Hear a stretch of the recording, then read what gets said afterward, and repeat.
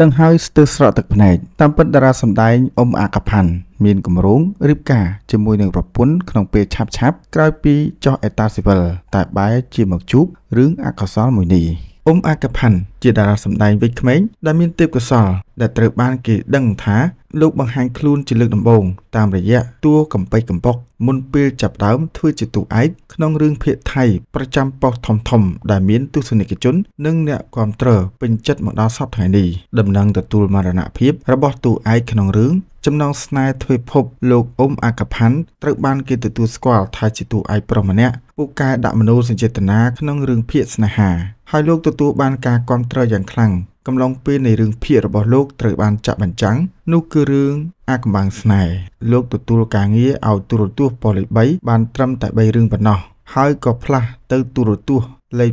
7ដែលលោកបានថតសម្ដែងបានចំនួន14រឿងយ៉ាងណាទន្ទឹមនឹងភាពជោគជ័យក្នុងវិស័យសិល្បៈនៅឆ្នាំ2022ស្រាប់តែលោកបានពើប្រទះនឹងជំងឺដ៏កាចសាហាវនោះគឺជំងឺមហារីក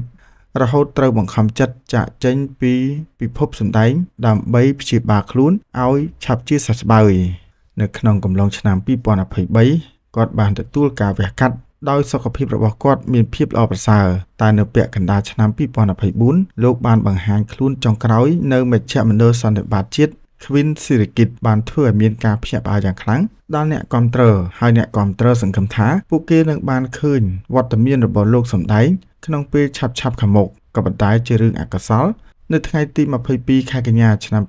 2024ស្របតែតារាសម្ដែងប្រុសរូបនេះបានទទួលមរណភាពទាំងគួរឲ្យភ្ញាក់ផ្អើលដែលធ្វើឲ្យក្រុមគ្រួសារមិត្តមិត្តសិល្បៈក៏ដូចជា អ្នកគាំទ្រទាំងក្នុងនិងក្រៅប្រទេស ពិតជាមានក្តីរន្ធត់និងសោកស្ដាយអាឡោះអាល័យជាទីបំផុតដែលឡែកក្រោយពី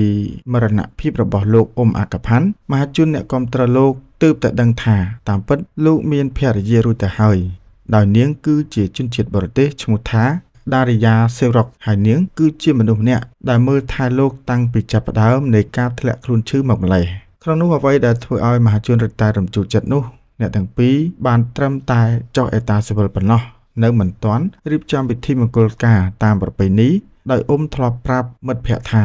លោកមានគម្រោងរៀបការនៅពេលខាងមុខឆាប់ឆាប់នេះពលគឺធ្វើឡើងនៅក្នុងប្រទេសប៉ូឡូញផង និងប្រទេសថៃផងក៏ប៉ុន្តែជាអកុសលមច្ចរាជបានផ្ដាច់ផ្ដាល់ជីវិតរបស់លោកដោយមិនបានទុកឱកាសឲ្យលោកបានសាងគ្រួសារជាមួយនឹងមនុស្សស្រីដែលខ្លួនស្រឡាញ់នោះឡើយ